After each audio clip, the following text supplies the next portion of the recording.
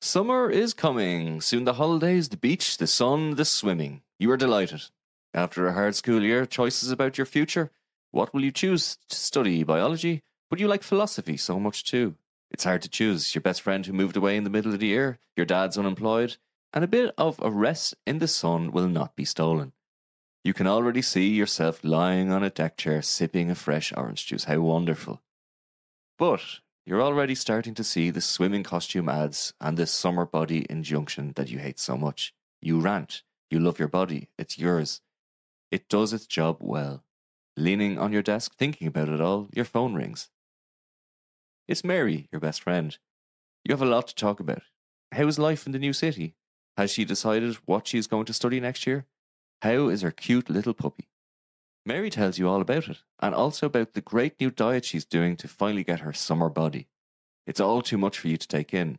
How can Mary, who is so perfect the way she is, give in to this nonsense, perhaps at the risk of her health? You decide that something must be done.